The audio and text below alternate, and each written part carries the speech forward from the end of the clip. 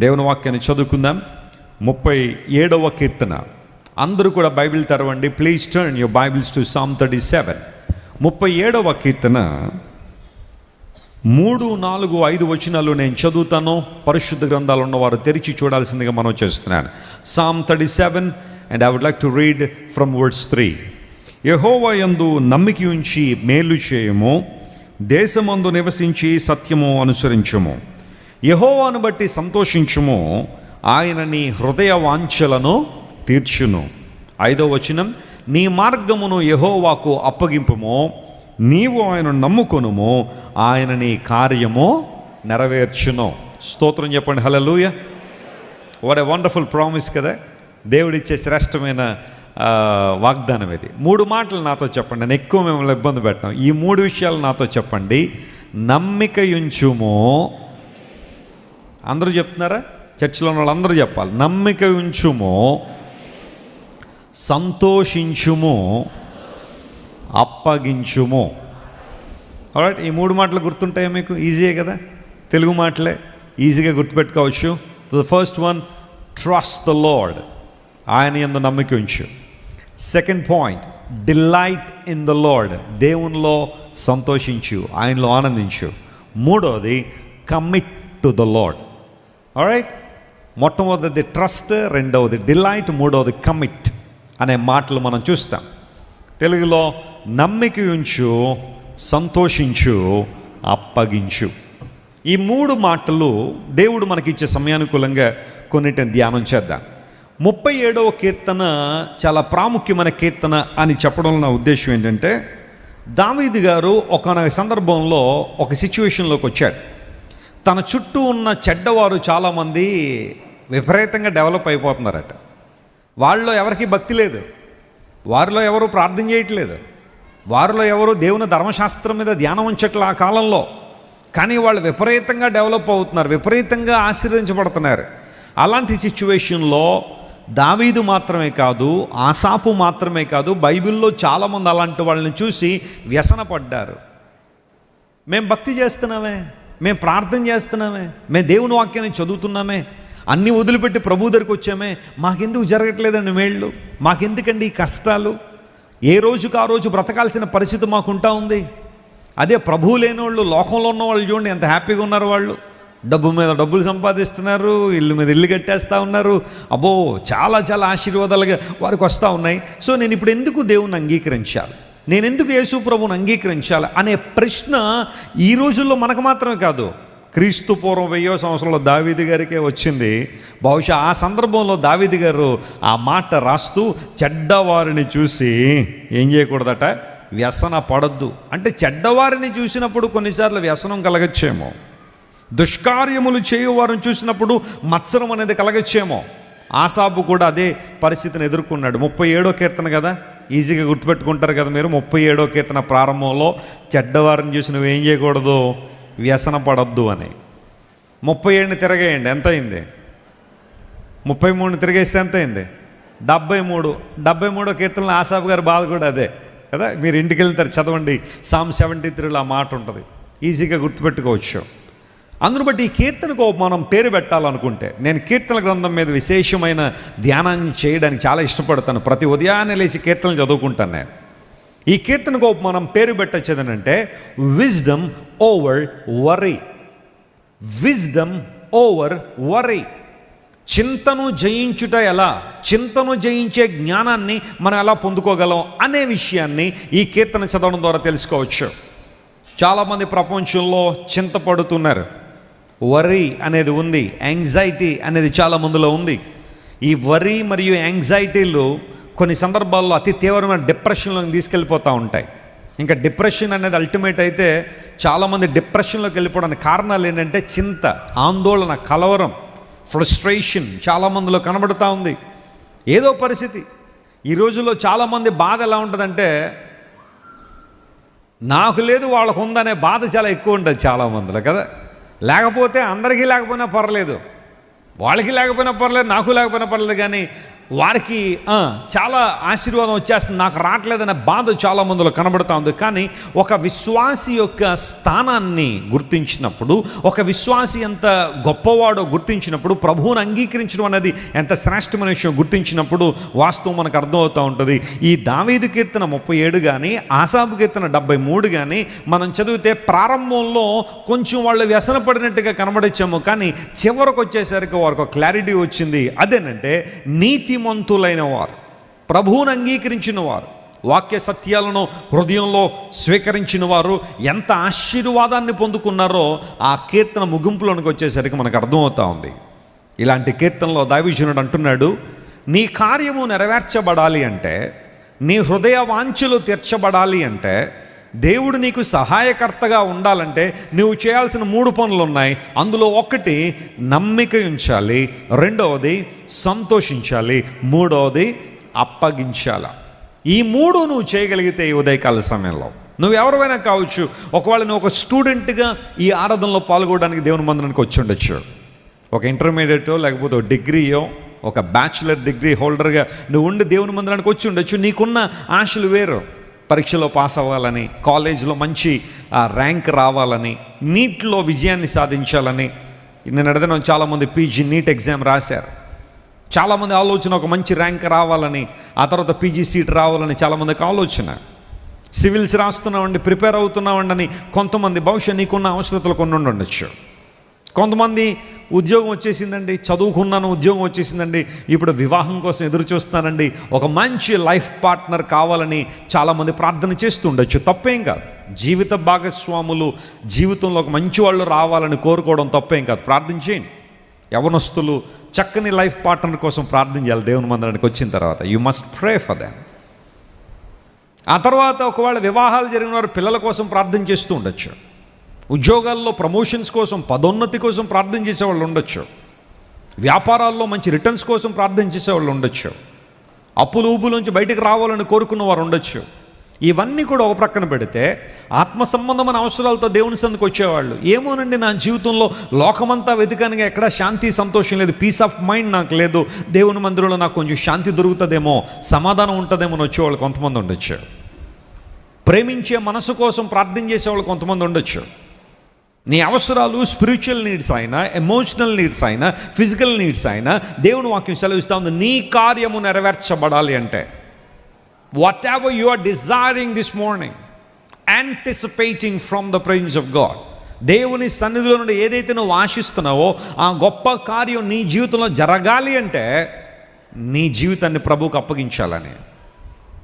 ఒక police officer మన చర్చ్కి వస్తూ ఉంటారు ఆ సందర్భాల్లో ఆయనకేదో డిపార్ట్మెంట్లో ఒక చిన్న శోధన చిన్న సమస్య ఏదో వచ్చింది. యూజువల్గా డిపార్ట్మెంట్స్లో ఎస్పెషలీ అలాంటి డిపార్ట్మెంట్స్లో చిన్న చిన్న సమస్యలు శోధనలు చాలామందికి వస్తూ ఉండొచ్చు. ఆ పైన ఉన్న అధికారుల నుంచి కొంచెం తీవ్ర ఒత్తిడి ఉంటుంది. పొలిటికల్ ఇన్ఫ్లుయెన్స్ కొన్నిసార్లు డిపార్ట్మెంట్ మీద పనిచేసే అవకాశాలు ఉండొచ్చేమో. ఇలాంటి సిచ్యువేషన్లో నలిగిపోతున్న పరిస్థితిలో ఎటు వెళ్ళాలో తెలియని పరిస్థితి. ఎవరి దగ్గరికి వెళ్ళాలో తెలియని పరిస్థితి. ఆ అధికార ఈ అధికార ఎవరు నాకు ఈ సందర్భంలో మేలు చేస్తారు? నేను ఈ సిచ్యువేషన్స్ విడుదల చేస్తారనే ఆలోచన కలిగి ఉండి ఎట్టకేలకు ఆయన నిర్ణయించుకున్నాడు నేను దేవుని దగ్గరికి వెళ్తాను. దేవుని మందిరానికి వెళ్ళి ప్రార్థన చేస్తాను. సో వెంటనే దేవుని మందిరంలోకి వచ్చారు. అప్పుడు ఆదివారం కాదు ఇలాంటి ప్రార్థన జరుగుతున్న సమయం కాదు ఆరాధన సమయం కాదు అది వీక్ డేలో ఎప్పుడో వచ్చారు. చర్చ్ అంతా ఖాళీగా ఉంది. ఇక్కడ మన చర్చ్ ఇన్ఛార్జ్ డోర్లు తెరిసే పెడతారు. ఉదయాన్నే లేవగానే మొత్తం all doors are open for the church anybody can come and pray here నా మందిరము సకల జనులకు ప్రార్థన మందిరం అనబడును అని బైబిల్లో రాయబడింది. Christ Worship Centre is a place of prayer మీరు ఎప్పుడైనా రావచ్చు ప్రార్థన. చక్కగా ప్రార్థన చేసుకోవచ్చు మీరు ఇక్కడ దేవుని మందిరంలో. అభ్యంతరం ఏమీ లేదు ఇబ్బంది ఏమీ లేదు. ఎవరైనా ఎప్పుడైనా ఎంతసేపు అయినా దేవుని మందిరంలోకి వచ్చి ప్రార్థన చేసుకోవచ్చు. ఎందుకంటే ఇది ప్రార్థనా మందిరం. ఆయన వచ్చారు దేవుని మందిరంలోకి వచ్చి అక్కడే ఎక్కడో అవకాశం ఉంటే అక్కడ మోకాళ్ళుని ప్రార్థన చేసి తన సమస్య ప్రభుతో చెప్పుకున్నాడంట ఆయన. ప్రభు నీవు తప్ప ఈ పరిస్థితిలో నన్ను విడుదల చేసేవాళ్ళు ఎవరు? ఈ స్థితిలో నేను నిన్ను ఆశ్రయిస్తున్నాను. నీవు నాకు మేలు చేయాలని ప్రార్థన చేసుకుని వెళ్ళిన రెండు రోజులకే ఆయన అనుకున్న కార్యాన్ని దేవుడు జరిగించాడు. దేవుడు నా మనస్తోత్రం కలుగును గాక. మన చర్చ్లో కూడా ఆయన సాక్ష్యం చెప్పారు. దేవుడు చేసిన మేలును బట్టి. అది ఏంటనేది అంత డీటెయిల్గా మనం చెప్పలేకపోయినా of course he was fighting with a big problem at the time but he prayed over in his presence దేవుని సన్నిధిలో ప్రార్థన చేసినప్పుడు దేవుడు అతని ప్రార్థన అంగీకరించాడు. నా ప్రియ తమ్ముడు చెల్లి అక్క అన్న కొన్నిసార్లు నీకు వస్తున్న శ్రమలను బట్టి ఇబ్బందులను బట్టి అతి తీవ్రంగా కృంగిపోతున్నావు. ఇంక అయిపోయిందండి నా జీవితం. ఇంక నేను పోరాడలేనండి వెసిలి గారు. ఇంకెంతకాలం పోరాడమంటారు?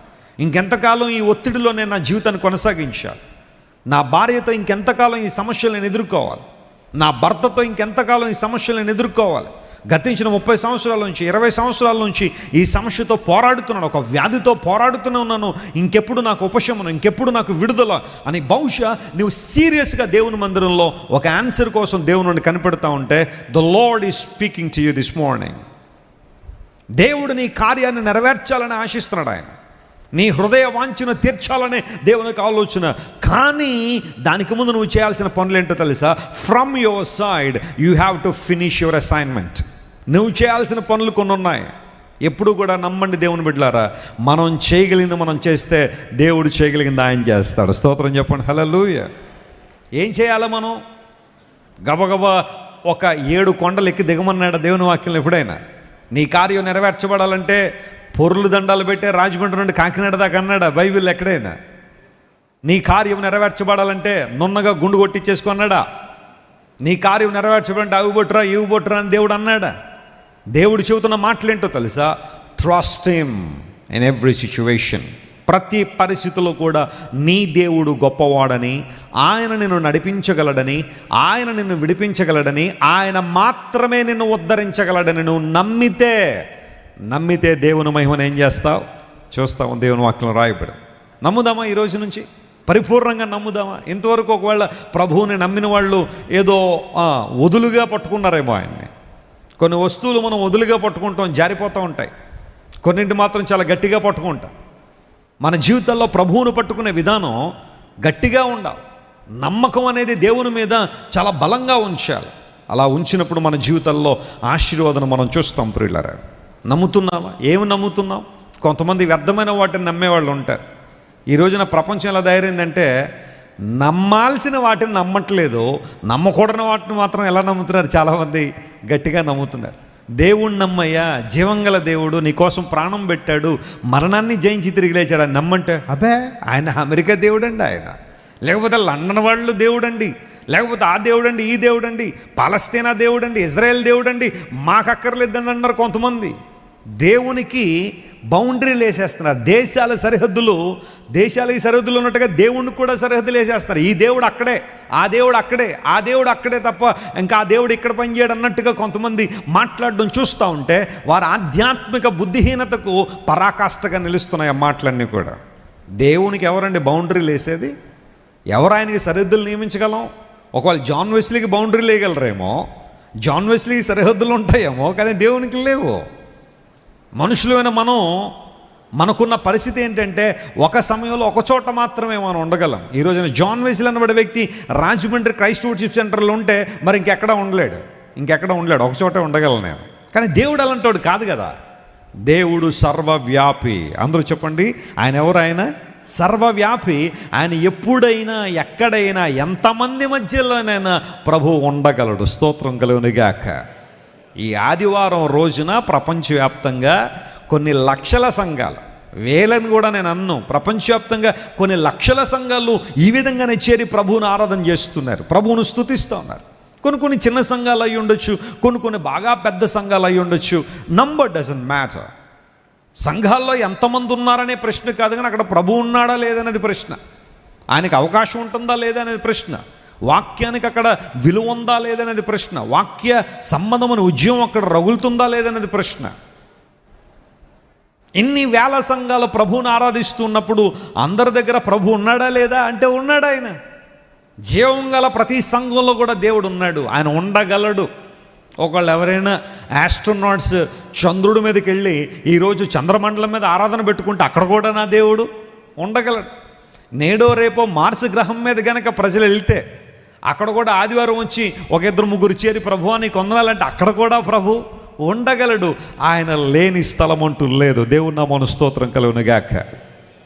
ఆయన ఎందు నమ్మిక ఉంచడానికి నీకున్న ఆ ప్రతికూలతలేంటి ఒకసారి ఆలోచించాయి ఎందుకు నమ్మలేకపోతున్నావు దేవుణ్ణి? ఈరోజు బైబిల్ సెలవిస్తూ ఉంది. ఇంతవరకు ఒకవేళ నమనా వద్దన్నట్టుగా ఉన్నావేమో.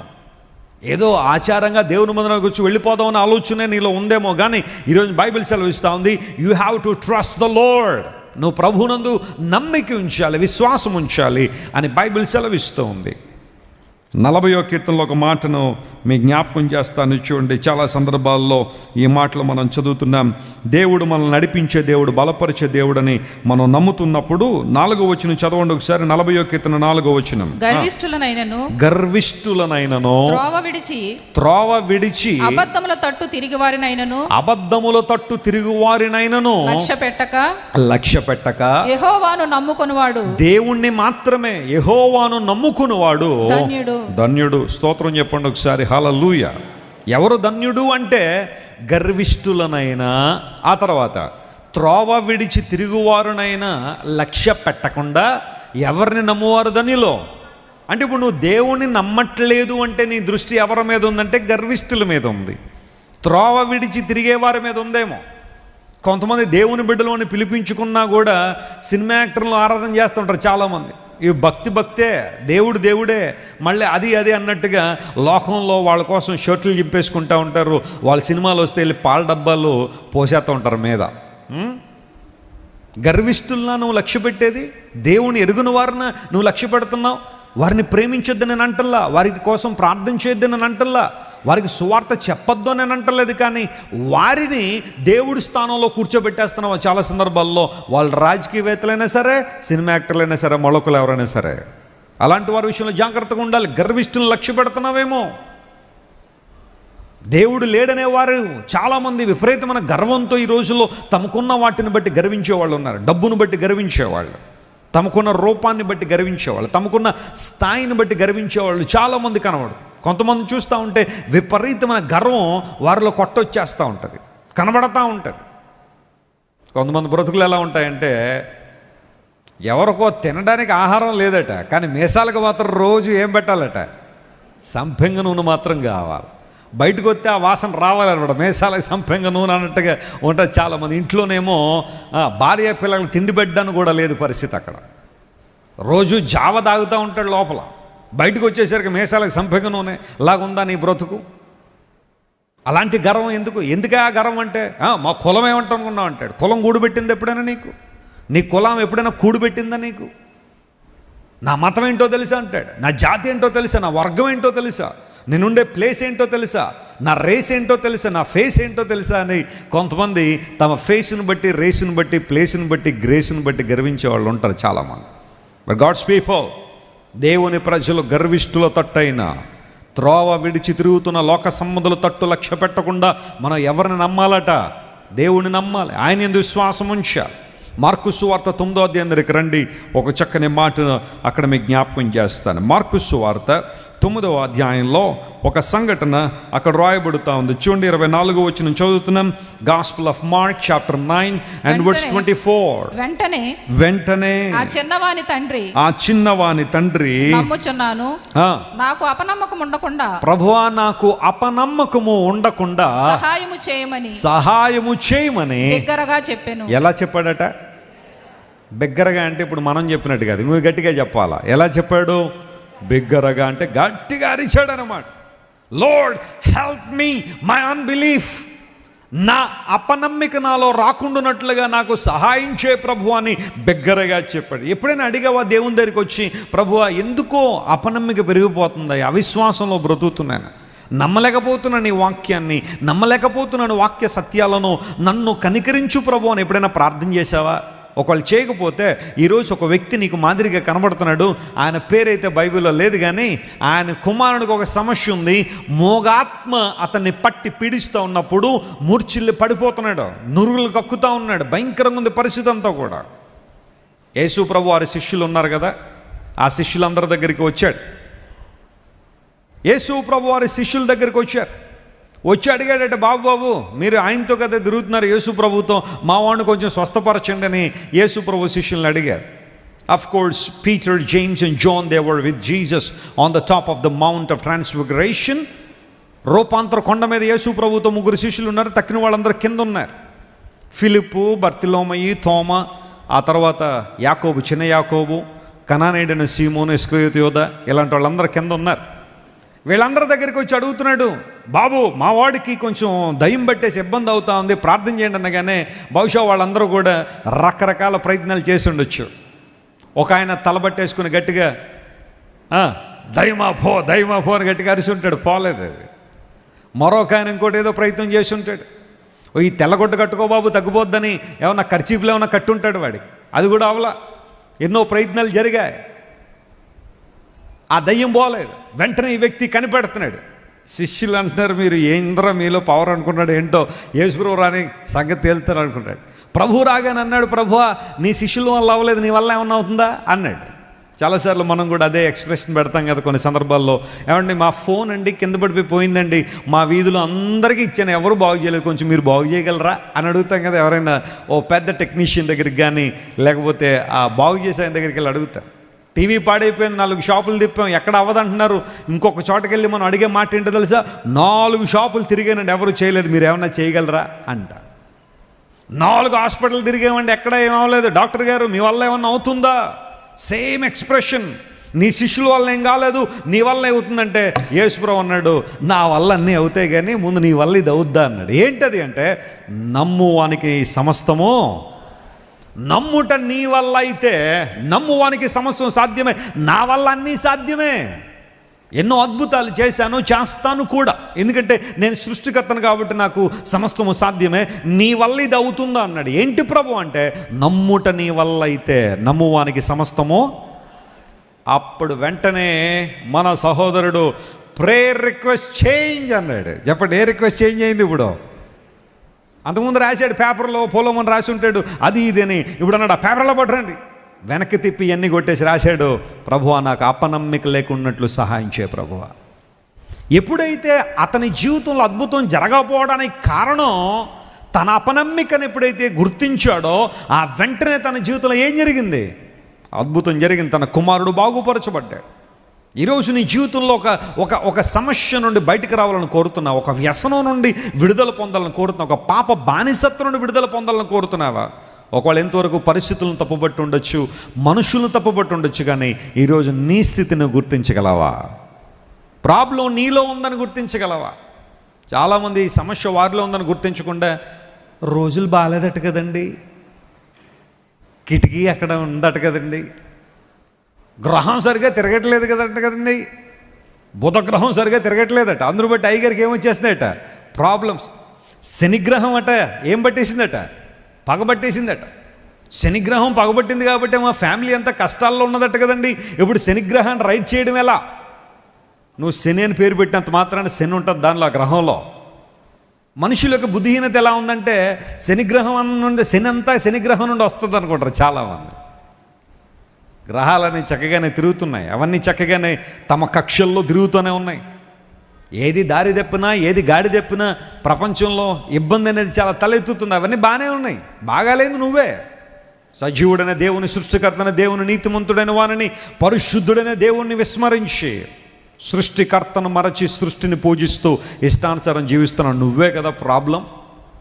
సమస్య నీలో రెక్టిఫై అవ్వాలి. అప్పుడు మిగతావన్నీ ఏమైతే కరెక్ట్ అయిపోతుంటాయి. ఫర్ ఎగ్జాంపుల్ నా దగ్గర ఒక జిరాక్స్ జిరాక్స్ మెషిన్ ఉందనుకుందాం. జిరాక్స్ మెషిన్లు అందరూ వాడి ఉంటాం కదా? స్టూడెంట్స్ అయితే ఆ మార్కుల లిస్టులు జిరాక్స్ తీసుకోవడానికో లేకపోతే డాక్యుమెంట్లు జిరాక్స్ తీసుకోవడం ఈ మాత్రం మెషిన్ ఉంటుంది కదా?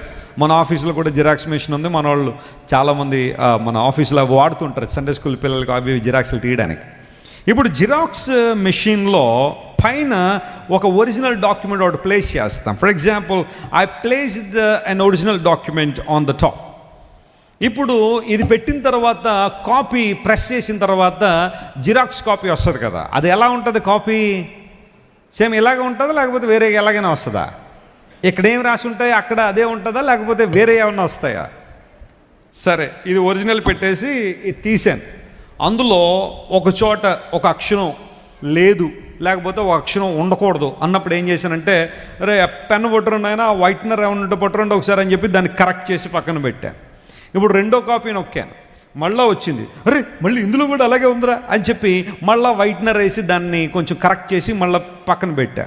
ఈ లోపల ఒక యాభై కాపీలు కొట్టాను. యాభై వచ్చేసినాయి. యాభైలో కూడా ఎలా ఉంది? ఆ సమస్య ఉంది. ఇప్పుడు మళ్ళీ ఒక్కో దాన్ని పట్టుకుని అమ్మ చాలా ఇబ్బంది అవుతుందిరా కష్టం అవుతుందని చెప్పి యాభై కరెక్ట్ చేస్తున్నాను అనుకోండి మీలాంటి వాళ్ళు వచ్చి ఏమంటారు? మీలాంటి వాళ్ళు వచ్చి ఏమంటారు? అయ్యా కరెక్ట్ చేయాల్సింది అవి కాదు. ముందు ఎక్కడ కరెక్ట్ చేయి?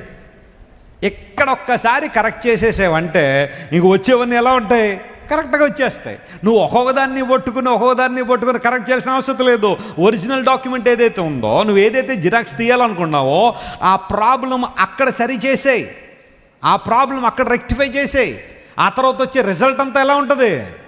ఇప్పుడు జరుగుతున్న ప్రాబ్లం ఏంటంటే మన హృదయం అనే ఈ ఒరిజినల్ డాక్యుమెంట్ని మనం ఏం చేయట్లేదు? కరెక్ట్ చేయట్లేదు. వచ్చే రిజల్ట్లన్నీ కరెక్ట్ చేయాలనుకుంటాం.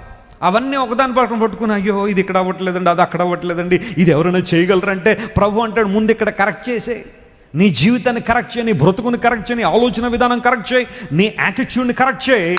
రిజల్ట్ కూడా అలాగే ఉంటుంది. గట్టిగా చప్పట్లు కొట్టి దేవుని మయంపరచండి ఎందుకు ప్రయాస కొన్నిసార్లు ఎందుకు అర్థం కాని సమస్యలు మన జీవితంలోకి వస్తున్నాయంటే హృదయంలో కరెక్ట్ అవ్వట్లేదు. అందును బట్టే మారు మనసు అనే మాటకు గ్రీకు భాషలో ఒక పదం వాడారు. పాత నిబంధన హిబ్రూలో రాయబడితే నూతన నిబంధన గ్రీకులో రాయబడింది కదా. గ్రీకులో మారు మనసు అనే మాటకు మెతనోయా అనే పదం వాడారు. మెత్తనోయా అంటే అర్థం ఏంటో తెలుసా? చేంజింగ్ ద మైండ్ అని అర్థం. మనస్సు మార్చుకోవడం అనేది. చేంజింగ్ ద మైండ్ ఇప్పుడు మన మనస్సు మారాలంటే ముందు మనం ఇష్టపడాలా? దేవుని దగ్గరికి వచ్చినప్పుడు ఆయన మన మనసుని ఏం చేస్తాడు ఆయన? మారుస్తాడు.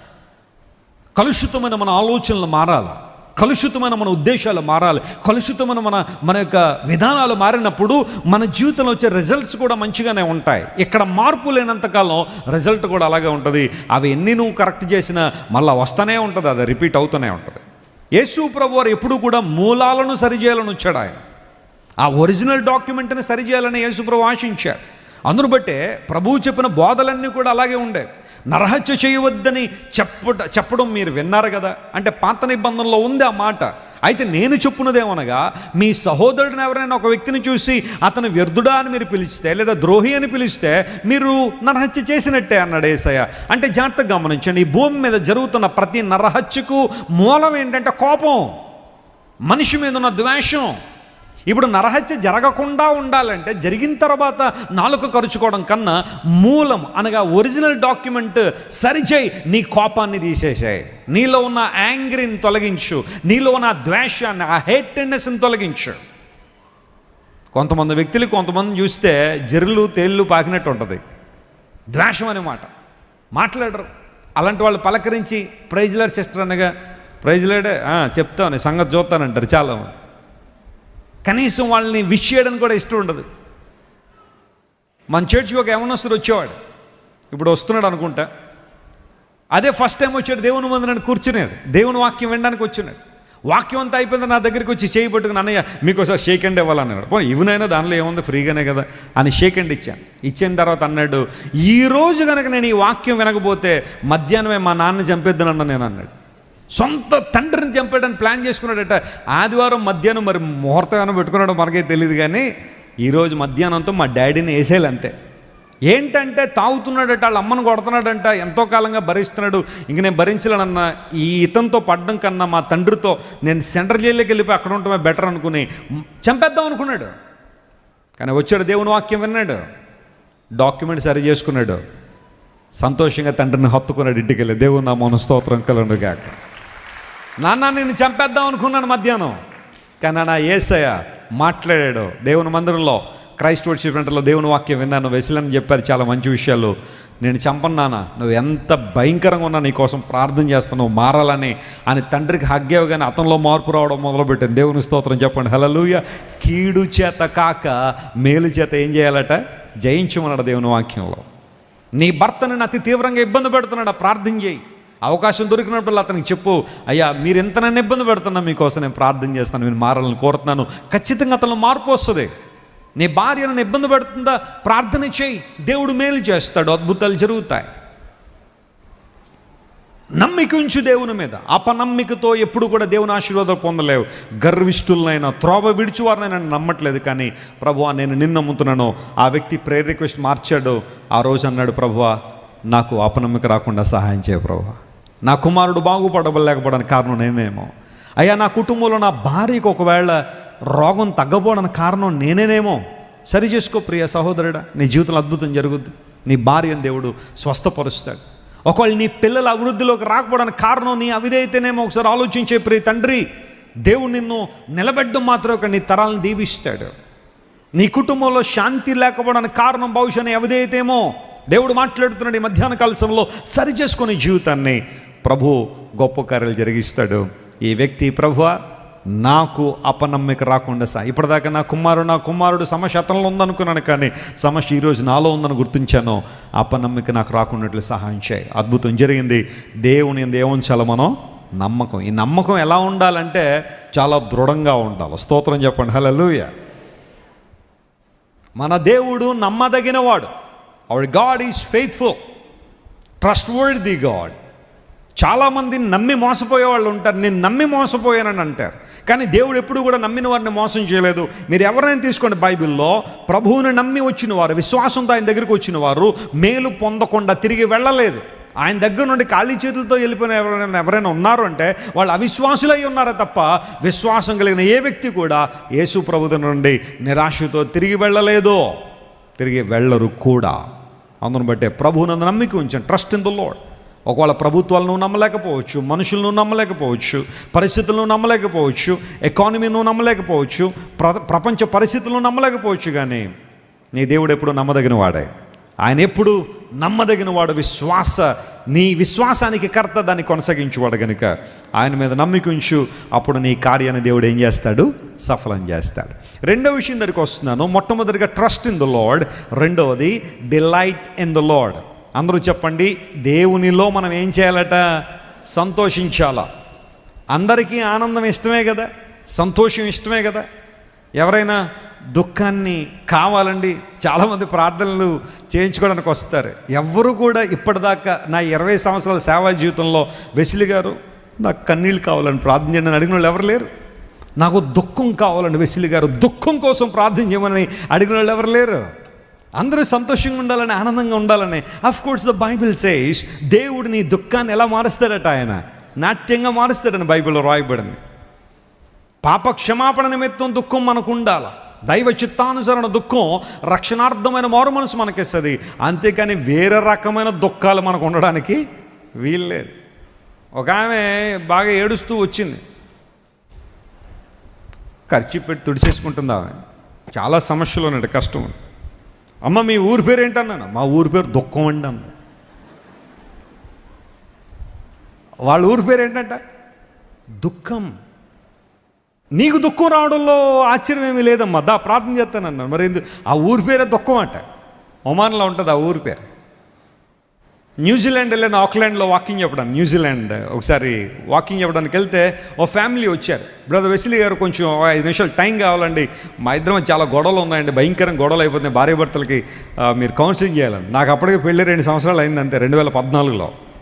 ఫోన్లో రండి దేవుని వాక్యం చెప్పడం కదా. అవకాశం ఏదైనా వాక్యం చెప్పడం? దేవుని వాక్యంలో. కూర్చోబెట్టి వాకింగ్ చెబుతూ అన్నాను మీరు ఎక్కడి నుండి వచ్చారన్నాను మా ఊరు పేరు మాటా మాట అండి అన్నారు వాళ్ళు. మాటామాట అంట. ఆ ఊరి పేరు న్యూజిలాండ్లో పేరు ఉంది మాటామాట. అక్కడున్న భార్యాభర్తలకి రోజు రోజుకి ఏమొచ్చేస్తుంది మాటామాట పెరిగిపోతున్నారు కొన్నిసార్లు ఊర్లను బట్టి లక్షణాలు ఉంటాయో అనిపిస్తూ ఉంటుంది కొన్నిసార్లు. రైట్ జాగ్రత్త గమనించండి. బైబిల్ సెలవిస్తూ ఉంది. సంతోషం అందరికీ ఇష్టమే ఆనందం అందరికీ ఇష్టమే. బైబిల్ సెలవిస్తూ ఉంది సంతోషించండి. ఎవరిలో సంతోషించాలంటే యహోవాను బట్టి యహోవా ఎందు మీరు ఆనందించండి. దేవునిలో ఆనందించడం. ఆనందాలు రెండు రకాలు ఒకటి లోక సంబంధన ఆనందం రెండోది దైవికమైన ఆనందం. లోక సంబంధన ఆనందం తరిగిపోయే ఆనందం అది. కొంతకాలానికి బోరు కొట్టేసే ఆనందం. చూడండి ఏదైనా ఒక థ్రిల్లింగ్ ఎక్స్పీరియన్స్ రెండు సార్లు చేస్తే మూడోసారి పెద్ద థ్రిల్లింగ్ ఉండదు దానిలో. అక్కడ ఇంకా ఆనందం రాదు ఇంకా. లోక సంబంధన ఆనందం ఎప్పుడు కూడా తరిగిపోయే డిమినిషింగ్ జాయ్ ఎప్పుడు కూడా తరిగిపోయే ఆనందమే. కానీ దేవునిలో ఆనందం మాత్రమే నిజంగా ఆనందించేవాడు ప్రతిరోజు ఏం చేస్తుంటాడు మెట్టు ఎక్కుతుంటాడు. ప్రభువులు ఆనందించే అనుభవాలను ప్రభువు నడిపిస్తా ఉన్నాడు. నీ ఆనందం ఎటుంది? నీ సంతోషం ఎటుంది? ఫిలిపిల్ రాసిన పత్రిక నాలుగో అధ్యాయం నాలుగో వచ్చిన మనందరికీ తెలిసిన వాక్య భాగం మీద అందులో ఒక మాట చదవండి. Philippians four and four.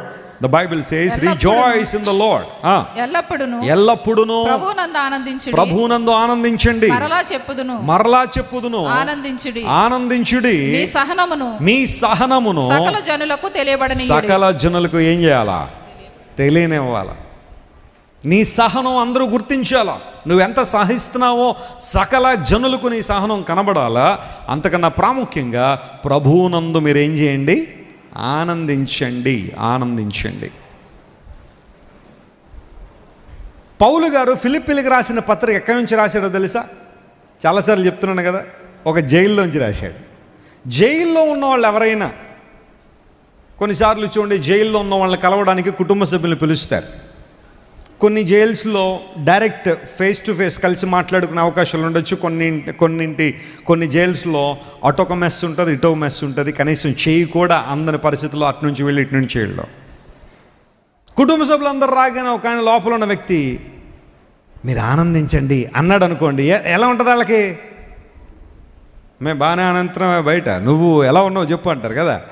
చెరసాల్లో ఉండి నేను చూడడానికి వచ్చావు. నువ్వు ఎలా ఉన్నావో దుఃఖంతో ఏడు చచ్చిపోతున్నావేమో డిప్రెషన్లోకి వెళ్ళిపోతున్నావేమోనని నిన్ను ఆదరిద్దాం వచ్చావు అనగానే ఆ లోపల ఉన్న వ్యక్తి మీరు ఆనందించండి నేను కూడా ఆనందిస్తానంటే ఎలా ఉంటుంది ఆ మాట? దైవజనుని యొక్క సిచ్యువేషన్ కూడా అదే. బొండలు వేసి బిగిస్తున్నారు స్టాక్స్ వేసి బిగించారు బొండలు వేసి బిగించడం అంటే ఇంకా కాళ్ళు కదపడానికి ఉండదన్నమాట. కనీసం కాళ్ళు కదపలేని పరిస్థితుల్లో ఎవరైనా ఉంటే ఆ బాధ భయంకరమైంది. చేతులు కదపడానికి ఉండవు కాళ్ళు చేతులకు బొండలు వేసి స్టాక్స్లో పెట్టి ఉంచేస్తారు. గంటలు గంటలు ఎలా కూర్చున్న వ్యక్తి అలాగే ఉండాలి? కదలడానికి ఉండదు మెదలడానికి ఉండదు. అలాంటి సిచ్యువేషన్లో పౌలు గారు శీల ఫిలిపి చెరసాల్లో కొన సందర్భంలో ఉన్నప్పుడు రుజువు చేశాడు ప్రాక్టికల్ మ్యాన్ ఆఫ్ గాడ్గా ఆనందించండి అని చెప్పడం ఈజీయే కావచ్చు కానీ నిజంగా పరిస్థితి ప్రతికూలంగా ఉన్నప్పుడు ఆనందించగలుగుతున్నామనేది ఆలోచించేయాలి? పౌలు శీల ఫిలిపి చెరసాల్లో ఉన్నప్పుడు భయంకర పరిస్థితి ఉన్నప్పుడు వారి చేతులు కట్టివేయబడ్డాయి కాళ్ళు కట్టివేయబడ్డాయి దేహాలు కట్టివేయబడ్డాయి శరీరాలు కట్టివేయబడ్డాయి కానీ వారి స్వరాలు మాత్రం కట్టేయలేకపోయారు. దేవుని నామను స్తోత్రం కలుగునిగాక వారి మనస్సును కట్టివేయలేకపోయారు. వారి ఆత్మను బంధించలేకపోయారు. మనుషులు నీ దేహాన్ని బంధించగలరేమో కానీ నీలో ఉన్న ఆత్మను బంధించలేరు. Hallelujah rejoice in the Lord ప్రభునందు ఆనందించండి అని తన అనుభవాల్లోంచి ఫిలిపిలికి రాసిన పత్రిక నా తర్వాత కాలంలో దైవజనుడు చెరసాల నుంచే రాశాడు. ఫిలిపి సంఘస్థాపన చెరసాల్లో జరిగింది. ఆ తర్వాత ఫిలిపి పత్రిక చెరసాల్లోంచి రాస్తా ఉన్నాడు. ఎటు చూసినా దైవజనుడు చెబుతున్న మాట ఏంటో తెలుసా? రీజాయిస్ ఇన్ ద లోడ్ అంటే పౌలు గారి కష్టాలు ఏమి లేవేమోనండి? పౌలు గారికి ఇబ్బందులు ఏమో లేవోనండి అంటే కొన్ని కొన్ని సందర్భాల్లో పౌలు గారు తన కష్టాలను వివరించాడు. ఎందుకోసం తెలుసా? దేవుని సేవకులు కొన్ని సందర్భాల్లో అబో వీళ్ళు బాగా ఇది బాగా సుఖపడిపోతున్నారని అనుకుంటారేమో దేవుని సేవకులు. వారి కష్టాలను కూడా రాశాడు దావిషణుడు అతను పడిన ప్రయాస కూడా రాశాడు. పౌలు గారు ఏదో లాభాన్ని ఆశించో ప్రయోజనాన్ని ఆశించో దేవుని సేవ చేస్తున్నాడేమో. ఈ తిరగడం అంటే ఆయనకు బాగా ఇష్టమేమో. అందును బట్టి మిషనరీ జర్నీలు అని చెప్పి మొత్తం ప్రపంచం అంతా తిరిగేస్తున్నాడు ఆయన. తిరగడం బాగా సరదేమో పౌలు గారికి అని చాలామంది అనుకుంటే పౌలు గారు రాసుకుంటూ వచ్చాడు తన కష్టాలు. ఎన్నో సందర్భాల్లో ఇబ్బందులు ఆహారం లేకపోవడం స్వజనుల వలన వచ్చే కష్టాలు యూదుల వలన వచ్చే కష్టాలు. కపట సహోదరుల వల్ల వచ్చిన ఆపదలు అన్నాడు. అంటే పైకి చూడడానికి సహాయం చేస్తున్నట్టుగా కనబడిన కొంతమంది పౌలు గారిని ఇబ్బంది పెట్టడానికి ఇబ్బందులు నెట్టేసిన వాళ్ళు కొంతమంది ఉన్నారు. వేషధారణతో ఉన్న వాళ్ళు చాలామంది అతని చుట్టూ ఉన్నారు. వారిని బట్టి వచ్చిన కష్టాలు కూడా అన్నాడు. ఇలా ఎన్నో ఆపదలన్నీ కూడా రాసుకుంటూ రాసుకుంటూ వచ్చిన పౌలు అన్నాడు నేను నా శ్రమల్లో కూడా దేవునిలో సంతోషించడం నేర్చుకున్నాను. జీవితం అనేది కొన్నిసార్లు సవాళ్ళతో కూడింది అయి ఉండొచ్చు కష్టాలు ఇబ్బందులు ప్రతికూల పరిస్థితులు వస్తూనే ఉంటాయి. వాటిని దాటుకుని వెళ్ళడమే క్రైస్తవ జీవితం కానీ శ్రమలు వస్తున్నాయి కష్టాలు వస్తున్నాయని చెప్పి చెట్టు కింద కూర్చున్న జీవితం కాదు క్రైస్తవ జీవితం. నమ్మిన వారు స్తోత్రం చెప్పండి. హలలుయ కార్లు బైక్లు నడిపే వాళ్ళకి ఇది చాలా అలవాటే కదా. కారు నడుపుతూ వెళ్తూ ఉంటే ఎదురుగుండా లారీలు వస్తాయి ఇంకేం వస్తాయి?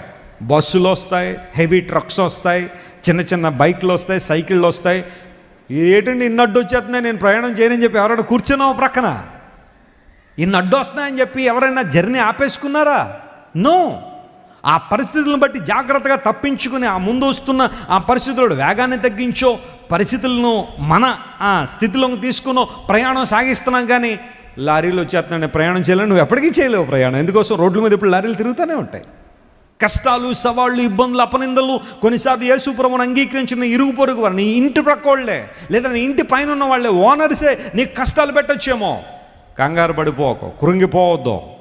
ఈ ఎదురుగాలులు నిన్ను ఇంకా ఇంకా పైకి తీసుకెళ్ళడానికే కానీ నేను పడవేయడానికి కాదు.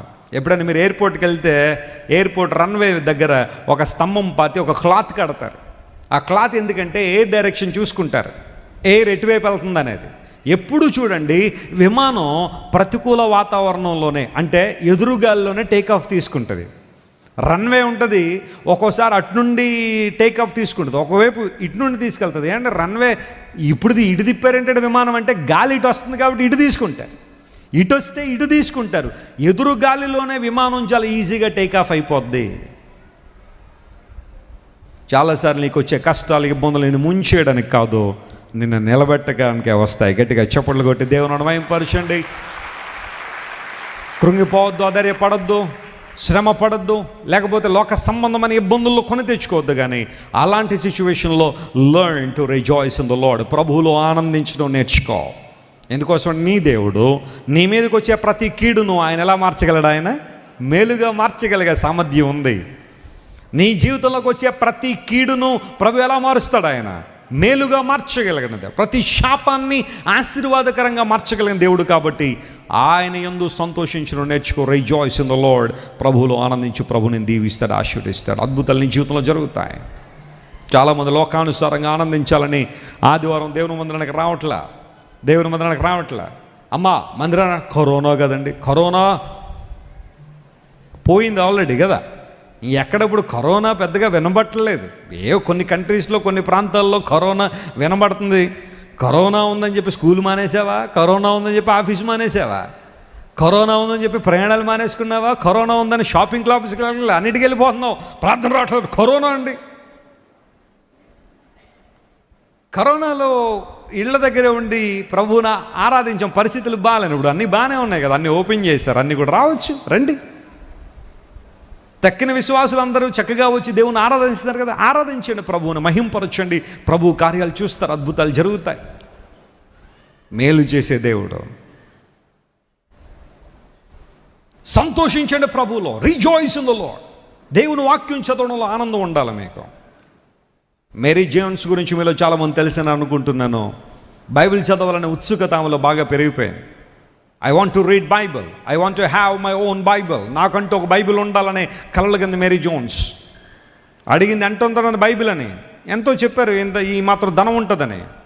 వెంటనే పోగు చేయడం మొదలుపెట్టాను. డబ్బు అంతా పోగు చేస్తుంది. డబ్బు పోగు చేస్తుంది. డబ్బు పోగు చేస్తుంది. ఎట్టకెలక తను అనుకున్నంత డబ్బు పోగైంది. వెంటనే సంబరమాశ్చర్యాలతో నింపబడి బైబిల్ కొనుక్కోండి దగ్గరలో పాస్టర్ గారు ఉంటే దగ్గరికి వెళ్ళింది. పాస్టర్ గారు బైబిల్ ఉందా? అంటే అయిపోయినాయి అమ్మ అన్నాడు ఆయన బైబిల్ అయిపోయినాయా? ఓకే. షాపింగ్ కాంప్లెక్స్ ఎక్కడ ఉందండి గౌన్ కొనేసుకుంటానని వెళ్ళిపోలే లేకపోతే మార్కెట్ ఎక్కడ ఉందని మరొకటి కొనుక్కుంటానలా బైబిల్ కొరకు దాచిపెట్టిన డబ్బు బైబిల్లో కొనుక్కోవాలనుకుంది. వెంటనే అడిగింది అయ్యా మరి ఎక్కడ దొరుకుతుంది బైబిల్? అమ్మ కొంచెం కష్టమే కానీ నువ్వు ప్రయాసపడితే కొంచెం సాధించవచ్చు ఇక్కడ నుంచి కరెక్ట్గా నలభై కిలోమీటర్లు నడుచుకుని వెళ్తే ఓ ప్లేస్లో పాస్టర్ గారు ఉంటారు పెద్ద పాస్టర్ గారు. ఆయన దగ్గర బైబిల్ ఎక్కువ ఉండే అవకాశం ఉంది. నీకు అవకాశం ఉంటే వెళ్ళిపో అన్నాడు. వెంటనే ఆ డబ్బులు తీసుకుని మేరీ జోన్స్ యవనస్తురాలు టీనేజ్ అమ్మాయి అరణ్యంలో నడుచుకుంటూ వెళ్ళిపోయింది. అలా నడుచుకుంటూ నడుచుకుంటూ నలభై కిలోమీటర్లు నడిచేసింది దేవుని వాక్యం కోసం బైబిల్ కొనుక్కోవడం కోసం.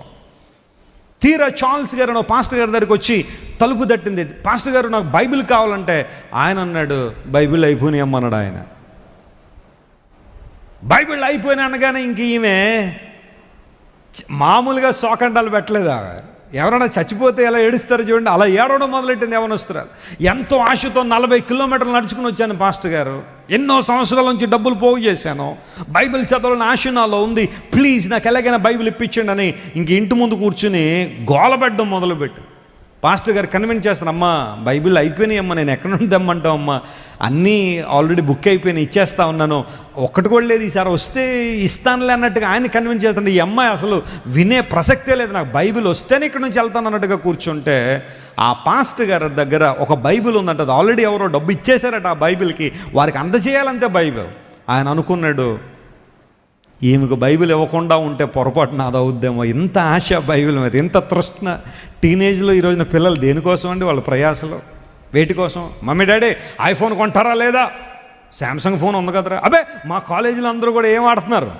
ఐఫోన్ వాడుతున్నారు. నేను కూడా ఐఫోన్ వాడాలి. ఐప్యాడ్ కొంటావా లేదా? ఇంకేంటి? యవనస్తులు అంటారు అయితే. అవి కొంటావా లేదా? యవనస్తులు అయితే నాకు బైక్ కొంటావా లేదా? ఏ బైకు? రాయమండ్రి అంతా వినబడాలి వేసుకుని వెళ్తే. అంతే కదా అలాంటి బైకులు కావాలి ఇప్పుడు యవనస్తులకి. సైలెంట్గా వెళ్ళి పెక్కలేదు ఎవడు చూస్తాడన్నా సైలెంట్గా వెళ్తారు కూడా ఒక్కసారి ఎక్కి డ్రర్ అన్నా అంటే మొత్తం రాయమండ్రి అంతా చూడాలి. అబ్బో మనోడు వేసుకెళ్తున్నాడు రో బైక్ రా వెళ్ళిపోయి వెళ్ళిపోయి చెట్టుకో గుద్దేసుకుంటాడు. అప్పుడు చూడాల్సిన వాళ్ళు చూస్తారు రోజంతా హాస్పిటల్లో నర్సులు డాక్టర్లు. తలకే పగిలిపోయి. పరిస్థితులు కొంతమంది యవన కాలంలోకి వచ్చిన తర్వాత చాలామంది ఆశలు ఏంటి? ఇలాంటివే. కానీ మేరీ జోన్స్ ఏడ్చింది బైబిల్ కోసం. దుఃఖపడింది. కావాలి నాకు బైబిల్ అంతే అంతే ఆఖరి దేవుని సేవకుడమ్మ నీ ఎంతూజియాజం చూసి బైబిల్ నీకు ఇచ్చేస్తాను. వాళ్ళకి నేను ఏదో ఒకటి చెప్పుకుంటానులే తర్వాత తీసుకెళ్ళిపోనగానే మళ్ళా నలభై కిలోమీటర్లు సంతోషంగా పరిగెత్తుకుంటూ వచ్చేసింది ఇంటికి. ఆమె ఆశను చూసి ఆ ప్లేస్లో ఆ కంట్రీలో బైబిల్ చదవడానికి ఎంతమంది ఆసక్తిగా ఉన్నారని చూసి ఆ తర్వాత Bible society of India Bible society ఆ ప్రాంతంలో ఈ మేరీ జోన్స్ యొక్క డిజైర్ని చూసి స్థాపించబడిందట. దేవుని నామను స్తోత్రం కలునుగాక హలలుయ అక్కడ ఒక బైబిల్ సొసైటీని పెట్టి బైబిల్ ముద్రించి విరివిగా బైబిల్ ఇవ్వడం మొదలుపెట్టారు. ఒక యవనస్తురాలి కోరిక ఆ తర్వాత కాలానికి ఆశీర్వాదకరంగా ఉందా లేదా? ఎస్ ఈరోజు నువ్వు దేవుని కొరకు చేసేది చిన్నదే కావచ్చు. నీవు తీసుకున్న ఒక డెసిషన్ చిన్నదే కావచ్చు. నీ కుటుంబంలో నీవు తీసుకునే ప్రభువుని అంగీకరించాలి ఆయన వెంబడించాలి దేవుని ఆత్మతో నడిపించబడాలని నువ్వు తీసుకున్న నిర్ణయం చిన్నదే కావచ్చేమో కానీ రాను రాను తరతరాలని దేవుడు ఏం చేస్తాడు? దీవిస్తాడు ఆశీర్వదిస్తాడు. Learn to be happy in the house of God learn to be happy in the presence of God దేవుని సన్నిధిలో చెప్పండి మనం ఎలా ఉండాలా? సంతోషంగా ఉండాలి. పాల్ యాంగిచో గారి చర్చ్ సౌత్ కొరియాలో ఫస్ట్ సర్వీస్ మార్నింగ్ నాలుగు గంటలకు స్టార్ట్ అవుద్దట. చెప్పండి ఎన్ని గంటలకి? ఇప్పుడు నాలుగు గంటలకి వచ్చేవారు నుండి ఆరాధన అంటే ఎంతమంది వస్తారు మీలో? నాలుగు వందల సంఘాలు ఉన్నాయండి వెసిలి గారు. ఇక సెలవు. దేనికి? క్రైస్ట్ బ్రిటిష్ సెంటర్కి నాలుగు గంటలకు ఆరాధన పెట్టేసి వెళ్ళాలనుకుంటారేమో కొంతమంది. నాలుగు గంటల ఆరాధనలో పాల్గొనడానికి ఒంటి గంటకి వెళ్ళి లైన్లో నిలబడ్డారట. ఆ- సీట్లు ఎందుకంటే మరి చర్చ్ మళ్ళీ అందరికీ సరిపోదు కదా. మల్టిపుల్ వర్షిప్లు ఉంటాయి. నాలుగు గంటల ఆరాధనలో దేవుని ముందులో కూర్చోవడానికి ఒంటి గంటకి లైన్లో నిలబడతారంట వాళ్ళు. అందరి చేతుల్లో చిన్న చిన్న బైబిళ్ళు ఉంటాయి. బైబిల్ చదువుకుంటూ అలా లైన్లో నిలబడతారు. డోర్లు తెరవగానే అందరూ లోపలికి వచ్చి కూర్చుంటారు. నాలుగు గంటల ఆరాధనకి ఎన్ని గంటలకే? ఒంటి గంటకి. పోనీ మనం నాలుగు గంటల ఆరాధనకు వచ్చిన ఆరు గంటలకు అయిపోతుంది అనుకుంటే ఐదున్నరకు వస్తాం మనం. ఆ ఆ సమయంలో కూడా మనం సమయానికి రావడానికి ఇష్టపడం. ఎందుకంటే దేవునిలో ఆనందించే అనుభవం రావట్లేదు మనకి. ఒక అరగంట కనుక లేట్ అయితే మీటింగ్ కొంతమంది అమ్మో అయ్య బాబోయ్ నేను కూర్చోలేకపోతున్నాను బాబోయ్. నేను ఉండలేకపోతున్నాను బాబోయ్ నా నడువు నొప్పి వచ్చేస్తుంది బాబోయ్ అని చాలామంది రకరకాలుగా ఎక్స్ప్రెషన్లు పెడతా ఉంటారు. మన దగ్గర కాదండి బయట ఎక్కడైనా చెప్తున్నా. మనందరూ మీరందరూ యాక్టివ్గానే కూర్చుంటారు కదా. నేను ఒక ఆఫ్రికన్ చర్చ్లోకి వాకింగ్ చెప్పడానికి వెళ్తే యూజువల్గా అమెరికాలో కొన్ని చర్చెస్లో సమయం చాలా తక్కువ ఇస్తారు. నేను చెప్పాను ఆల్రెడీ ఒక సంఘానికి వెళ్ళిన ఆదివారం వాకింగ్ చెప్పడానికి. ఆ పాస్టమ్ గారు ఉన్నారు. ఎంతసేపు చెప్పమంటారండి అన్న వాక్యం? ఎందుకంటే నేను ఎక్కడికైనా బయటికి వెళ్ళినప్పుడు మరి వాళ్ళ సంఘ నియమాలు అయ్యి ఉంటాయి కదా. అడుగుతాం యూజువల్గా ఓ ఒక వన్ అవర్ చెప్పండి వెసిలి గారు దూరం నుండి వచ్చారు కదా ఒక వన్ అండ్ హాఫ్ అవర్ చెప్పండి. లేకపోతే ఒక ఫార్టీ ఫైవ్ మినిట్స్ చెప్పండి వెసిలి గారు. అని కొంతమంది చెప్తా ఉంటారు టైం ఎగ్జాక్ట్గా ఆ టైంలో ముగించడానికి ప్రయత్నం చేస్తాను. సరే ఆయన అడిగాను పాస్టమ్ గారు ఎంతసేపు తీసుకోమంటారంటే ఏడు నిమిషాలు తీసుకోండి అందా. ఏడు నిమిషాల? మా ఇండియాలో ఏడు నిమిషాలు ప్రసంగం ముందు ప్రార్థన చేస్తారు మీరు ఏడు నిమిషాలు ప్రసంగానే టైం ఇచ్చారు ఇప్పుడు నేను ఏం చెప్పాలా ఏడు నిమిషాల్లో? స్టేజ్ మీదకి వెళ్ళి greetings dear friends and greetings dear brothers and sisters అన్నాడు రెండు నిమిషాలు అయిపోయింది అప్పుడే. అప్పుడు ఏమనాలా hi hello close your eyes amen అనాలి? అంతే ఏడు నిమిషాలు. నేను అన్నాను కుదరదండి నేను అంత దూరం నడిచి ఏడు నిమిషాలు వాక్యం ఏం చెప్పమంటారండి? నేను ఏం కన్వే చేయగలను? ఆఖరికి ఆమె ప్రయాసపడి పది నిమిషాలు ఇచ్చింది ఆఖరికి. మూడు నిమిషాలు గ్రేస్ ఇచ్చారు నాకు. ఆ రోజు చెప్పాను దేవునికి ఇవ్వాల్సిన విలువ ఏంటో? సంఘం. మా వాళ్ళు ఎవరు అరగంట కన్నా ఎక్కువ కూర్చోరండి? మీరు చెప్పినా ఉండరండి అంది. ఉంటారమ్మా కూర్చోపెడదాం దేవుని వాక్యం చెప్పే విధానాలు చెబితే ఖచ్చితంగా కూర్చుంటారు జనం. ఆ రోజు దేవుని వాక్యం చెప్పాను చాలామంది దేవునికి తమ జీవితాలు సమర్పించారు. Brother thanks for coming come again అన్నారు. మళ్ళీ రావడానికి నాకు అభ్యంతరం లేదు కానీ కొంచెం ఎక్కువ సమయం ఇవ్వమని చెప్పండి. కొన్ని కొన్ని సంఘాలు ఉంటే ఆఫ్రికన్ పీపుల్ ఉంటారు దానిలో. వాళ్ళు ఎంత చక్కగా వింటారంటే వాక్యం మీరు గంటన్నర చెప్పినా సరే అదే జోష్ ఉంటుంది వాళ్ళ వాక్యం వినేటప్పుడు ఎస్ పాస్టర్ స్పీక్ అంటాడు ఒక్కొక్క ఆయన. గట్టి గట్టిగా అరుస్తూ ఉంటాడు మధ్యలో. చెప్పు దైవజనుల వాక్యం. ఎస్ మాకు ఈ మాటలు అవసరమై ఉన్నాయి. మా జీవితాలు సరి చేసుకోవాలని. అమెరికాలో ఆఫ్రికన్ చర్చెస్లో వాక్యం చెప్పడం నాకు చాలా ఇష్టం. Because they receive the word of God with the hearts హృదయాలతో వింటారు దేవుని వాక్యం. మనం ఎలా వింటున్నాం వాక్యం? దేవుని వాక్యాన్ని. ప్రభులు ఆనందించగలుగుతున్నామా? ప్రభువులో సంతోషించగలుగుతున్నావు ప్రార్థనలో ఆనందించగలుగుతున్నావా? మోకాళ్ళు వేస్తే దేవుని సన్నిలో ప్రార్థించగలుగుతున్నావు ప్రియ ఎవన చెల్లె? మోకాళ్ళ ప్రార్థన నేర్చుకున్నావా? ఎవన తమ్ముడు? నీ మోకాళ్ళు నలుగుతున్నాయి దేవుని దగ్గర? ఓ దావిచనుడు అన్నాడు ఈ భూమి మీద మోకాళ్ళు వేయగలిగితే పరలోకంలో ఉన్న దేవుడు తన కార్యాలు జరిగించడం మొదలు పెడతాడు. దేవుని ఎదుట మోకాళ్ళు వేసేవాడు ఎవరి దగ్గర తల వంచడు. దేవుడు నా మన స్తోత్రం కలుగునుగాక హలలుయ కారణం ఏంటో తెలుసా? ఒక క్రైస్తవునికి బలం ఎక్కడుందో తెలుసా? ఎక్కడుంది? మోకాళ్ళలో ఉంది. చేయి ప్రార్థించే మోకరించి ప్రార్థించే. ఆత్మీయ తండ్రి గారు ఎన్నో అనుభవాలు మన ముందు ఉంచారు. నాన్నగారు అప్పుడప్పుడు సముద్ర పిసుకలో మోకాళ్ళు వేసి ప్రార్థన చేసేవాళ్ళు. సముద్ర పిసుకలో. కరుకైన రోడ్ల మీద మోకాళ్ళేసి ప్రార్థన చేసిన అనుభవాలు. పొలాల గట్ల మీద మోకాళ్ళేసి ప్రార్థన చేసిన అనుభవాలు. ఈ రోజున దేవుడు అంత బలంగా దావిషయంలో వాడుకుంటున్నారంటే సంఘాన్ని దేవుడు ఆశీర్వించాడంటే ఇవే. మోకాళ్ళ ప్రార్థన అనుభవాలి. నీ కుటుంబంలో సాతానుడు తాండవం ఆడుతున్నాడా? నీ కుటుంబంలో సాతాను చెలరేగిపోతున్నాడా? వెయ్యి మోకాళ్ళై అద్భుతాలు జరుగుతాయి ప్రభు. గొప్ప కార్యాలు చేస్తాడు. సంతోషించు. ప్రభువులో మనం ఏం చేయాలా? ఒక అమ్మాయిని పాట పాడమన్నారట. అమ్మ పాట పాడంటే కొంచెం బెదిరిపోతూ వచ్చింది వేదిక మీదకి. సంఘాన్ని చూడగానే కొంచెం మోచెప్పులు అదురుతూ ఉన్నాయి. కాళ్ళు వణిగిపోతున్నాయి కొంతమంది పాట పాడాలి అలాగే ఉంటుంది. అంటే ఫస్ట్లో లేదు ఆ తర్వాత తర్వాత కొంతమందికి అలవాటు. సాక్ష్యం చెప్పాలంటే కొంతమంది మైక్ వణుకు వణుకుపోతూ ఉంటారు. ఎందుకంటే కొంచెం ఫీర్ ఉంటుంది స్టేజ్ ఫీర్ అనేది కొంత. ఆ అమ్మాయి కూడా అలాంటి ఫీర్ అనుకుంటా పాట పాడనగానే పాట పాడమంటారా అని వచ్చి స్టేజ్కి పాట పాడుతుంది. సంతోషమే సమాధానమే అనే పాట అన్నమాట. ఏడుతూనే పాడిందంట అయ్యేదాకా. పాటేమో ఏంటి? సంతోషం. పాడే విధానం మాత్రం ఏంటి? ఏడుస్తూ అది కూడా భయం వేసి సంతోషమే. సమాధానం ఏడుస్తూ పాడేసరికి అందరికీ అర్థం అవ్వలేదు. ఈమె ఎక్స్ప్రెషన్ ఏంటి? ఆ పాట మీనింగ్ ఏంటి? ఏ పాట ఏ స్థాయి ఏ శ్రావ్యము ఏ రాగం ఆ రాగంలో పాడాలి. అంతేగాని దుఃఖం పాటలేమో సంతోషంగానే సంతోషంగా ఉన్నాయేమో దుఃఖంగా పాడడానికి లేదు. దేవుని వాక్యం సెలవిస్తూ ఉంది. ఎవరో ఒక చర్చిలో గుడ్ ఫ్రైడేకి ఎంతో వింత పాట పాడబడింది అది వెస్టర్న్లో పాడేస్తాడు టైగర్. ఎంతో వింత అనే సాంగ్ ఒక ఒక దానికి ఒక రాగం ఉంది ఒక పద్ధతి ఉంది పాడడం. ప్రభు శిలువ శ్రమను ధ్యా ధ్యానం చేసుకుంటూ పాడే పాట ఈయన జాజ్గిట్ పెట్టేసుకుని పాడేస్తాడు వెస్ట్రన్ స్టైల్ ఎంతో వింత అని. ఎవరు అడిగారు బాబు ఏంటంటే ఊపు రావాలి కదా అన్నాడట సంతోషమే సమాధానం అనే పాట చాలాసార్లు ఏడుస్తూ పాడుతున్నామే మనం కూడా. అయితే బైబిల్ సెలవిస్తుంది ప్రభువులో మీరు అందరూ ఏం చేయండి? సంతోషం. మూడో మాట దగ్గరికి వద్దాం చూడండి. ఆ మాట ఏమన్నాడు చూడండి నీ మార్గములను ఎవరికి అప్పగించాలా? ఏహోవాకు అప్పగించం. ముప్పై ఏడవ కీర్తన ఐదవ వచ్చిన వేయనని ఒకసారి Psalm thirty seven and verse five యెహోవాకు అప్పగింపు నీ మార్గమును యెహోవాకు అప్పగింపుము. నీవు ఆయనను నమ్ముకొనుము. నీవు ఆయన నమ్ముకొనుము. ఆయన నీ కార్యము ఆయన నీ కార్యాన్ని ఏం చేస్తాడు ఆయన?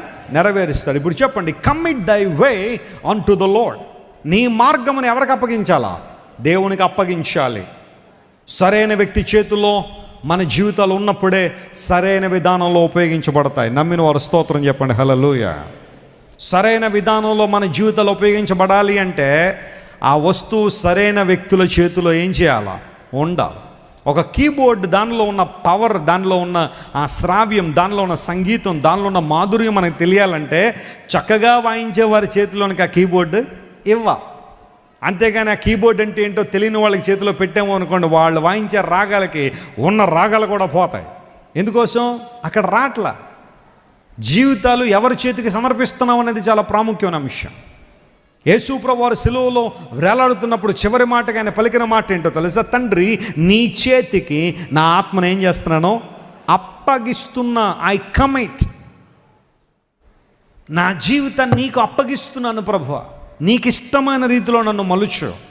నీకు ఇష్టమైన రీతిలో నన్ను సిద్ధపరిచయ్యా నీకు ఇష్టమైన పాత్రగా నన్ను వాడుకో ప్రభు అని ఎప్పుడైనా ప్రార్థన చేసావు దేవుని సనలో ఎంతవరకు నీ సొంత ఇష్టాలు నెరవేర్చబడాలని నీ సొంత ఆలోచనలు నెరవేర్చబడాలని పరుగులు తీసావేమో? కానీ ఈరోజు దేవుడు నీతో మాట్లాడుతున్నాడు కమిట్ దై వే అంటూ ద లోడ్ దేవునికి నీ మార్గాన్ని అప్పగించావు ఆయన వాడుకునే విధానం చాలా గొప్పగా ఉంటుంది.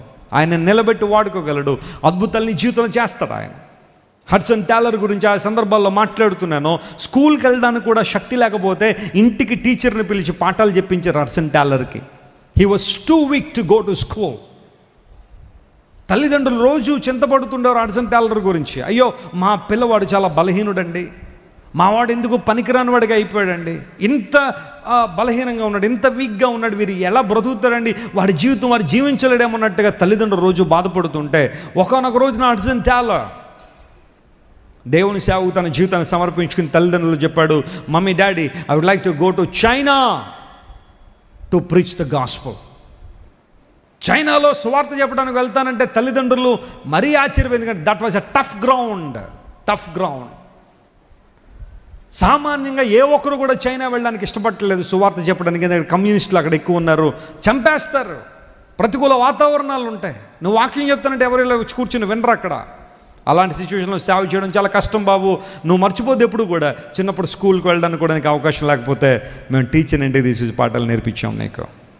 అలాంటి వీక్ పర్సనాలిటీ ఫీబుల్ పర్సనాలిటీ ఉన్న నీవు ఎప్పుడు కూడా ఆ, చైనాలో సువార్ చెప్పలేకపోవచ్చు అని కొంతమంది వెనకకు లాగారు కానీ హడ్సన్ టేలర్ అనుకున్నాడు ఈ బలం నాది కాదు. ఎవరిదే? నా దేవుడు నన్ను బలపరుచువాని ఎందు నేను సమస్తము చేయగలను. ఒకవేళ నువ్వు ఈ రోజున ఆరోగ్యంగా నువ్వు వీక్గానే ఉండుండొచ్చేమో. ఫైనాన్షియల్గా చాలా వీక్గా నువ్వు ఉండొచ్చేమో. ఈ రోజు ఖర్చులు ఈ రోజుగా లేక ఇబ్బంది పడుతున్నావేమో. అయ్యా నాకు ఏ విధమైన ఆత్మ వరాలు లేవండి ఏ తలాంతులు లేవండి నాకు ఒకవేళ బాధ నీలో ఉందేమో what I would like to request you this morning commit your life into the hands of God he knows how to use you he knows how to accomplish his purposes through your life నీ బ్రతుకు ద్వారా నీ జీవితం ద్వారా తన ప్రణాళికలు ఎలా నెరవేర్చుకోవాలో దేవునికి బాగా తెలుసు. హలలుయ అర్జున్ టాలర్ ఎప్పుడైతే తన జీవితాన్ని ప్రభువుకి అప్పగించాడో ప్రభు తన బలంతో నింపాడో వెళ్ళాడు చైనాలో సువార్త ప్రకటించాడు. కాళ్ళు బొబ్బలెక్కిపోతుండేవి ఆ నడుస్తూ నడుస్తూ నడుస్తుంటే కాళ్ళు బొబ్బలెక్కిపోతే అలాగే నడిచేవాడట. చెప్పులు లేకుండా చాలా కాలం నడిచాడు. సంఘాలు స్థాపించాడు. ఆయా సందర్భాల్లో అర్జున్ టాలర్ జుట్టంతా కూడా పీక్కుపోయినట్టు ఉండేదట. ఎండలో నడిచి నడిచి నడిచి ఒకళ్ళు కనబడితే ఒకరికి సువార్త ఇద్దరు కనబడితే ఒకరికి సువార్త. అలా చెబుతూ చెబుతూ దేవుని సువార్త ద్వారాలు చైనాలో తెరవబడ్డానికి అనేక మంది మిషనరీలు చైనా రావడానికి స్ఫూర్తిదాయకంగా నిలిచాడు. హడ్సన్ టాలర్ అనేక మందిని ప్రభు కోసం సంపాదించిన తర్వాత సంఘాలు స్థాపించిన తర్వాత ఈరోజు శుభవార్త చెప్పడానికి నేను ఆశపడుతున్నాను. చైనా దేశం ఇప్పటికీ కూడా కమ్యూనిస్ట్ భావజాలంతో ఉన్న దేశమే. అఫీషియల్గా చర్చెస్ చాలా తక్కువే అక్కడ. కొన్ని మాత్రమే అఫీషియల్ చర్చెస్ చైనాలో ఉన్నాయి. అవి కూడా పాస్టర్ ఆ రోజున ఏం ప్రసంగం చేస్తాడో ముందే ఇవ్వాలి. అంతా కూడా ఆయన ఏం ఇచ్చాడో అదే చెప్పాలి చర్చ్కి. ఆ గవర్నమెంట్ మొత్తం పరిశీలన చేస్తారు. నేను కరోనా స్టార్ట్ అవ్వకపోయి ఉండుంటే ఏప్రిల్లో నేను చైనా ఇల్లు ఉండాల్సిన వాడిని నేను. చైనాలో వాకింగ్ చెప్పడానికి నన్ను పిలిచిన బ్రదర్ ఏమన్నా తెలుసా? బ్రదర్ మీరు మూడు వాక్యాలు చెప్పాల్సి ఉంటుందని మూడు మెసేజ్లు మీరు చెప్పే ప్రతి వాక్యం వర్డ్ టు వర్డ్ మాకు టైప్ చేసి పంపించాలన్నాడు ఆయన. స్టేజ్ ఎక్కిన తర్వాత మనం ఏది పడితే చెప్పడానికి ఉండదట అక్కడ. మనం ముందే ఇవ్వాలి. దాన్ని గవర్నమెంట్ వాళ్ళు సబ్మిట్ చేస్తారు. గవర్నమెంట్ వాళ్ళు వెరిఫై చేస్తారు. జాన్ వెస్లీ గారు ఏం మాట్లాడతారు? ఇదా ఇదా ఇదా. ఆ గవర్నమెంట్కి ఏమైనా వ్యతిరేకంగా ఉంటాయా? వాళ్ళ పాలసీలకు ఏమైనా వ్యతిరేకంగా మాట్లాడు అన్ని పరిశీలన చేసి అప్రూవ్డ్ స్టాంప్ కొట్టిన తర్వాత ఇప్పుడు దాన్ని తీసుకొచ్చి చదివేయాలన్నమాట. అలా ఉంటుంది పరిస్థితి అక్కడ. అందును బట్టి చైనాలో ఎక్కువ ఇప్పుడు అండర్ గ్రౌండ్ చర్చెస్ ఉంటాయి. మెయిన్ లైన్ చర్చెస్లో ఆ పరిస్థితి. అండర్ గ్రౌండ్లో ఆరాధించుకునే వాళ్ళు ఏ వాక్యాలు చెప్పుకుంటారు? కానీ అవి చాలా రిస్కీ చర్చెస్ ఎప్పుడైనా పోలీసు వచ్చారంటే ఇబ్బందులు అవుతాయి. అలాంటి సిచ్యువేషన్లో ఎప్పుడైతే హడ్సన్ టాలో చైనాలో దేవుని వాక్యం చెప్పడం ప్రారంభించి సువార్త ప్రయాణించాడు యేసు ప్రభు దేవుడు ఆయన నీకోసం శిలువలో మరణించాడు మరణాన్ని జయించి తిరిగి లేచిన మృత్యుంజయుడు నిత్య జీవాధిపతి పరలోక రాజ్యాన్ని స్వాత్స్యంగా మనకిచ్చే దేవుడు. This is all about gospel ఈ సువార్తను ప్రకటించేసరికి హడ్సన్ టాలర్ చనిపోయిన కొన్ని సంవత్సరాలకి నమ్మని దేవుని బిడ్డారా చైనాలో ప్రతిరోజు రెండు కొత్త సంఘాలు ప్రారంభించబడేవట. దేవుని నా మనస్తోత్రం కలను గాక. Every day two new churches being established ఆ తర్వాత ప్రతిరోజు లక్ష మంది యేసుపురం అంగీకరించారు చైనాలో. దేవుని సువార్త ద్వారాలు తెరవబడడం ద్వారా అద్భుతమైన కార్యాలు జరిగాయి. ఆ తర్వాత హరిసంటాల తర్వాత అనేక మంది సువార్థికులు చైనా వెళ్ళి అద్భుతమైన సువార్తను ప్రకటించారు. ప్రభునందు దేవుని బిడ్డలారా అప్పగించిన జీవితాన్ని. ఈరోజు నువ్వు బలహీనరాలువే కావచ్చు. నువ్వు బలహీనుడివే కావచ్చు. ఆర్థికంగా నువ్వు అంత గొప్పవాడు కాకపోవచ్చు కానీ ఈరోజు ఒక తీర్మానం చేసుకో ప్రభువ నా ఈ చిన్న జీవితాన్ని నీ చేతికి సమర్పిస్తాను నన్ను వాడుకో ప్రభువ నన్ను ఉపయోగించుకోయ్యా నా ద్వారా నీ చిత్తం నీ ప్రణాళికలు ఈ భూమి మీద నెరవేర్చబడడం కన్నా గొప్ప విషయం మరొకట్లేదు. Lord use me as an instrument of peace నన్ను ఒక సమాధాన కుమారునిగా వాడుకో ప్రభు ఒకవేళ ఎవరైనా ఇద్దరు దెబ్బలాడుకుంటా ఉంటే నేను ఆ మధ్యలోకి వెళ్తే ఆ దెబ్బలాట ఆగిపోవాలి నాయన. అలాంటి శాంతిని పంచే వ్యక్తిగా నన్ను మార్చు ప్రభా.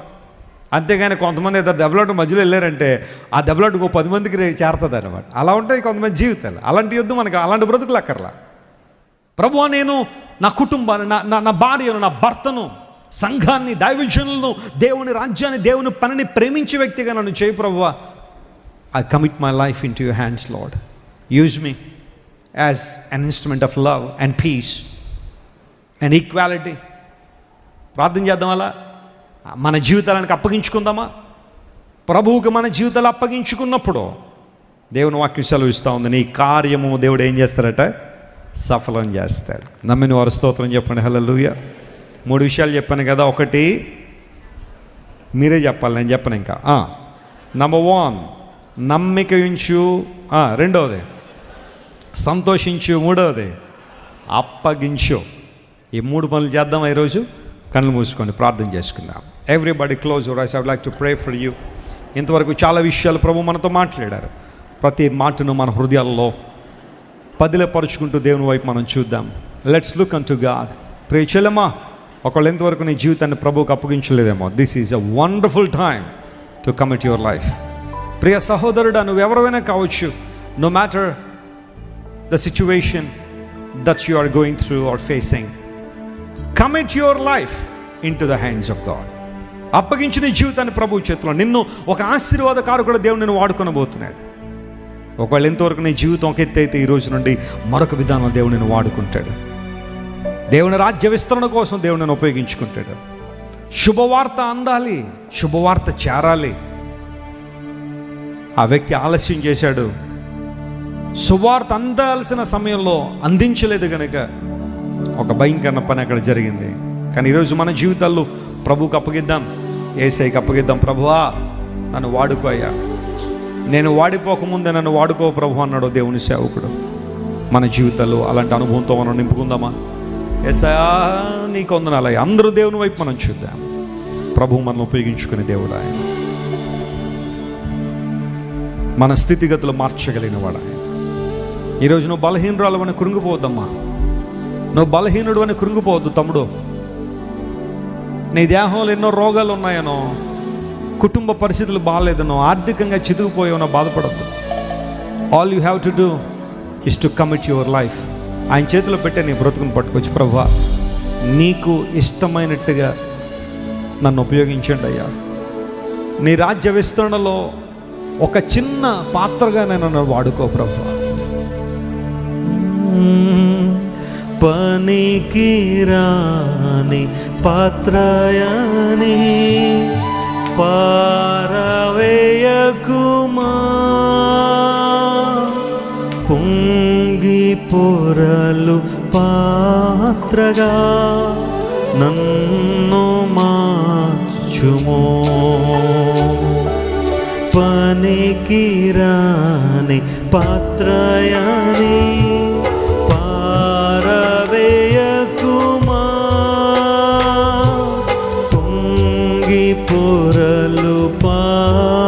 ఉండగా నన్ను మార్చుము. లేఖనమందలి పాత్రలన్నీ యేసును పొగడుచుందా జీవం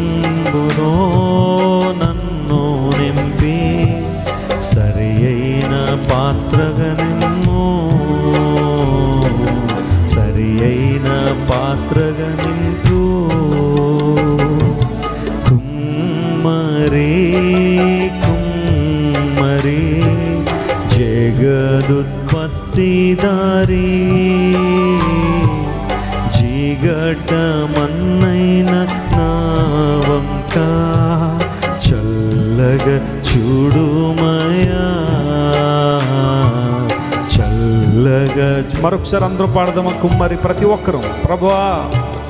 కుమ్మరి కుమ్మరి జగదుత్పత్తిదారి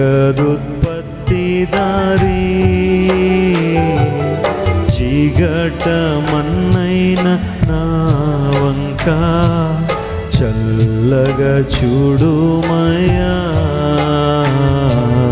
చల్లగా చూడుమయా ప్రభా మేము జిగట మంటి వారం ప్రభా. కొన్నిసార్లు ఆ మంటికైనా విలువ ఉందేమో కానీ మాకు లేదు ప్రభు.